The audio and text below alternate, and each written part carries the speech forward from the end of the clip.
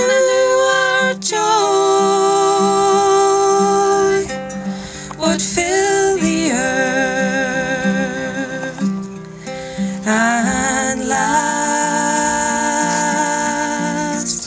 till the end of time, my love, and last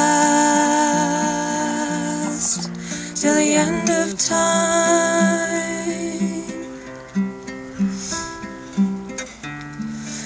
First time ever I saw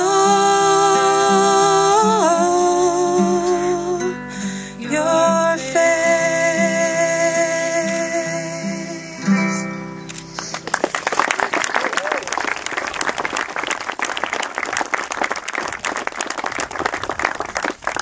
That was two sisters, Deirdre and Denise, and accompanied by Adam, who played us the opening piece as well.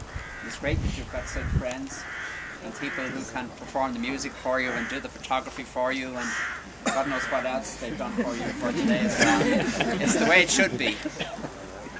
Now I invite Fergus to please come forward and to read us the second reading.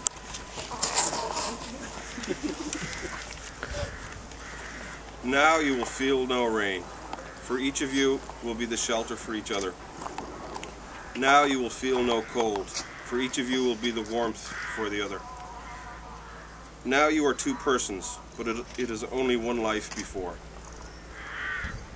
Go now to your dwelling place to enter into the days of your life together. And may your days be good and long upon the earth. Treat yourselves and each other with respect, and remind yourselves often of what brought you together. Give the highest priority to the tenderness, gentleness, and kindness that your connection deserves. When frustration, difficulty, and fear assail your relationship, as they threaten all relationships at one time or another, remember to focus on what is right between you, not only the part which seems wrong.